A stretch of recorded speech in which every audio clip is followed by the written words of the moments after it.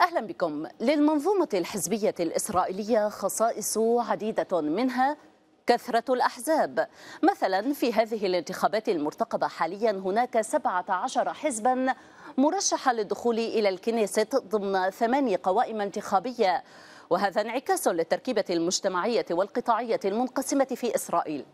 هنا ننتقل إلى خاصية ثانية وهي التمثيل القطاعي لفئات معينة. يعني نجد مثلا حتى ضمن شريحة المتدينين هناك انقسام بين فئة الحريديم الشرقيين والحريديم الغربيين والمهاجرون من دول الاتحاد السوفيتي سابقا لهم حزب والعلمانيون لهم أحزابهم المنقسمة.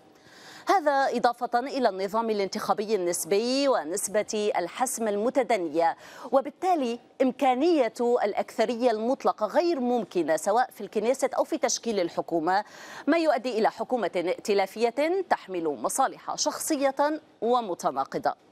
وهنا لابد من الوقوف على نقطة مهمة جدا في الخارطة السياسية الشخصانية وغياب الديمقراطية عن الحياة الحزبية الداخلية في الغالبية العظمى كالأحزاب الدينية مثلا لا يوجد انتخابات فيها بالمطلق.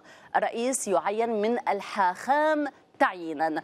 وحتى في الأحزاب الليبرالية العلمانية تحضر فكرة الشخص الواحد كحزب. هناك مستقبل برئاسة يائير لابيد. من دون أن ننسى حزب الليكود الذي يزعمه نتنياهو منذ 15 عاما.